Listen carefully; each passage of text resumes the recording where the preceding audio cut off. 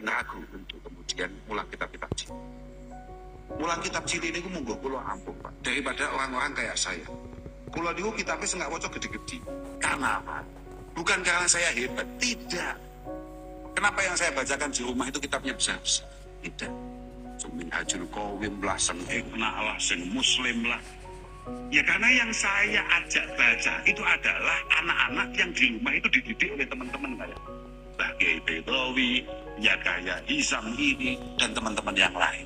Dan ketika disam, diantarkan ke rumah kami, memang mereka sudah siap untuk kitab-kitab besar. Dan kami tidak punya kemampuan untuk mulang alif fathah, alif kasoi, enggak, enggak, enggak telaten aku.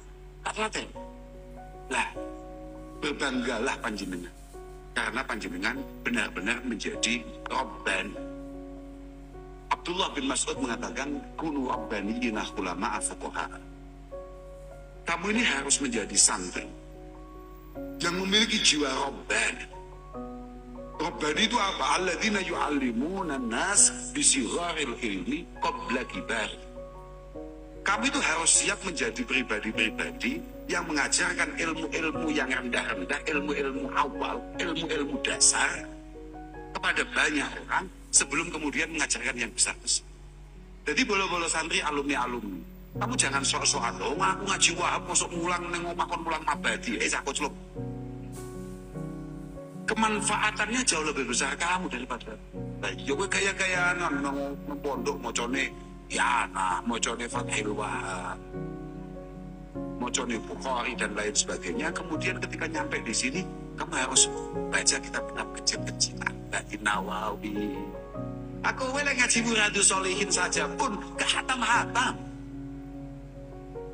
gak barbar gue makanya gue butuh ngaji ojo ngaji. Pondok pondok gue kudu dadi pondok sing jamek? Jamek.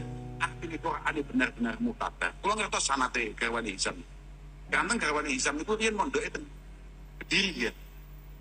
Di satu pondok yang sangat mutabar makanya ini pondok kan padan itu gitu eh, aku malah kelingan aku nyapu kok jenenge gue malah kelingan aku pergon jibuk sanate ya dah jibuk sana. Ih, mungkin-mungkin estu-estu dipun akeni santri ini para masyaih khususnya Mbah Yemungkir dan lain sebagainya ya saya sudah tapi ngaji kitab itu ojo titik ojo titik mereka ngeten.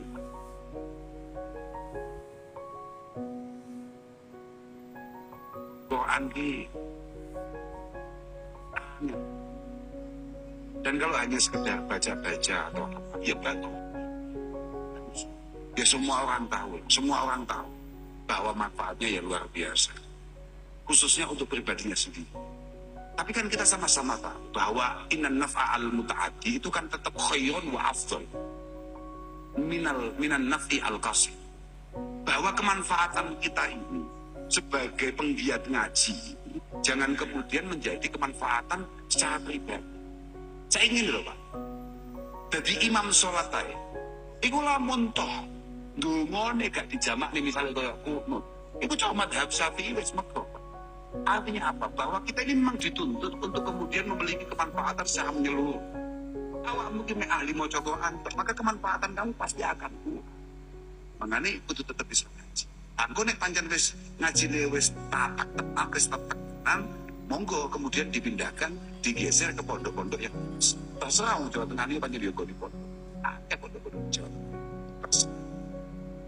Arab kak omong ini Jawa Timur kok malah dianggap kapan? Yo. Bisa itu nih betul betul kan pakai pancen. Sama dia mau contoh tapi gak paham. Itu ya biye ya? Karena sama kelingan kan Ramadan kepengkang Ramadan kemarin itu ada satu daerah di mana kiainya itu lebaran jauh lebih awal. Kelingan bukan? Kelingan. Karena merasa mendapatkan WA dari Allah Subhanahu wa taala. Eh, kelingan eh? Ya, ingat saya eh? Cocok loh. Artinya cocok gini bahwa sebetulnya WA Tuhan itu memang benar-benar ada. Imam Hasan Al Basri kita bisa ya, gak kita aku gak ngomong nih yang kemarin di Jawa Tengah itu kemudian benar, aku gak ngomong lagi benar. Bahwa narasi itu ada. Al Imam Al Hasan Basri, iku tahu dawuh Inna mangkana qablaku ra'u al Quran rasa ilam rabbi. Inna mangkan qablakum ra'au Al-Quran rasa ilam rabbi. Bahwa ulama-ulama dulu, para sahabat khususnya, para tabi'in, itu menganggap bahwa Quran adalah WA Allah Subhanahu wa taala. Rasail itu kan surat pesan. Ya, Pak. Aku sih aku kelingannya ya kayak gue mau, eh? bahwa mereka semua ini menganggap bahwa ini adalah pesan daripada Allah Subhanahu wa taala bagi kita semua.